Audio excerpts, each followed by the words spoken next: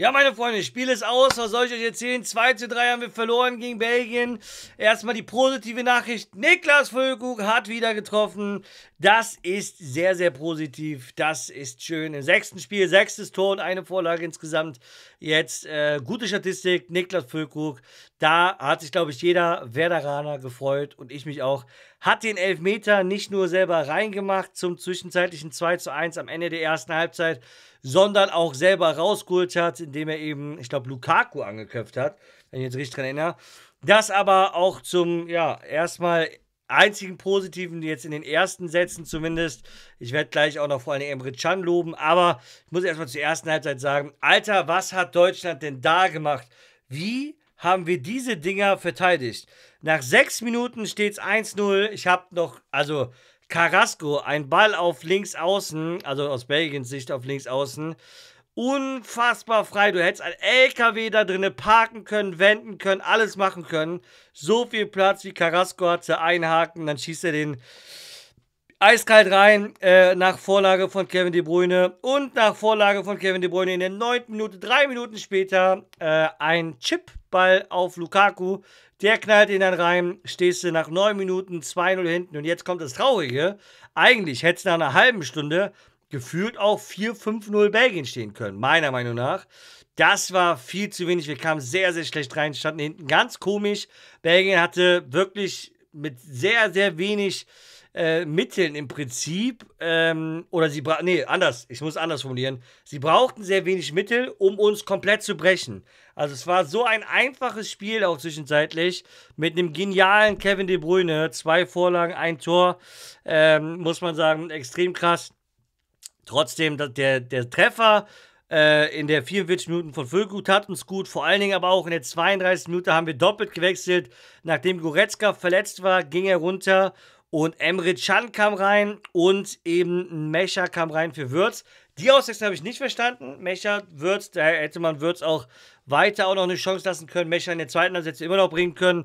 Aber Emre Can war ein Wirkungswechsel. Hat Stabilität im Mittelfeld gebracht, was wir die kompletten ersten 30 Minuten überhaupt nicht hatten.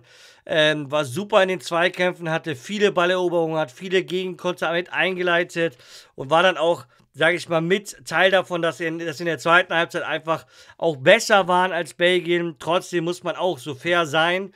Ähm, ja, muss man sich irgendwie ein Stück weit dann auch nicht wundern, dass wir das Spiel trotzdem verloren haben, weil es einfach zu wenig war. Wir waren oft zu inkonsequent, haben die Dinger nicht äh, komplett zu Ende gespielt. Gnabry einmal mit einem super Solo irgendwie drei, vier Mann ausgedribbelt, spielt, schießt dann selber drauf, trifft irgendwie den Innenpfosten dann raus ganz ehrlich, nimmt er da den Kopf hoch, spielt ihn rüber, dann ist das Ding hundertprozentig drin. Äh, schade bei seinen ersten Aktionen zweimal einfach ausgelaufen. Dann bei der dritten Aktion, seiner ersten richtig guten Aktion, macht er eine super Vorlage auf Gnabry zum 3 zu 2 Anschlusstreffer. Vorher natürlich das 3-1 von äh, Belgien mit Kevin De Bruyne. Äh, das war übrigens der einzige Schuss in der zweiten Halbzeit von Belgien. Also ein Schuss in der gesamten zweiten Halbzeit von Belgien und der war drinne. Man muss aber auch dazu, auch da sahen wir wieder nicht gut aus, gerade in der Defensivbewegung. Alle gefühlt abgeschaltet. Das sah einfach nicht gut aus. Äh, und man muss da auch ganz ehrlich sagen, wenn du vorne die Dinger nicht machst in der gesamten zweiten Halbzeit, brauchst du dich wundern, wenn du dann hinten irgendwann einen reinkriegst. Das ist auch dieser Klassiker.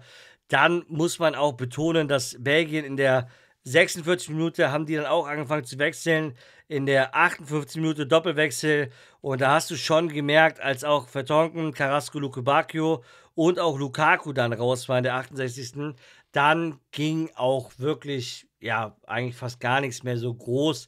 Ich finde auch, zweite Halbzeit sehr gezogen, war so ein Stück weit auch langweilig dann oder langweiliger dann. Äh, wie gesagt, zwei, drei gute Aktionen gab es. Gerade die, ähm, das Tor von Gnabry dann am Ende äh, nach Vorlage, schade, muss man sagen, ist gut reingekommen. Aber auch ähm, dass diese Einzelaktion von Gnabry, wo er dann da ein paar Leute aussteigen lassen. Schade, dass äh, Füllkrug nicht nochmal getroffen hat. Hatte auch nochmal eine richtig gute Kopfballaktion gehabt zwischendurch. Ja, sei es drum, 3-2 verlieren wir das. Ähm, man muss, wie gesagt, am Ende sagen, also wie gesagt, Belgien hätte am Anfang auch 3-4-5-0 führen können. Dafür ist das Ergebnis noch ganz gut. Zweite Halbzeit waren wir die bessere Mannschaft, erste Halbzeit war Belgien die bessere Mannschaft. Demnach könnte man sagen, unentschieden hätte man uns die Hand reichen können. Aber auch das 3-2 jetzt kommt nicht aus heiterem Himmel. So ehrlich muss man dann doch auch schon sein. Naja, ich hau mich jetzt auch hin, bin müde geworden durch die zweite Halbzeit. Schreibt mir gerne eure Meinung zu dem Spiel in die Kommentare rein. Ich bin raus, eure Nico und ciao.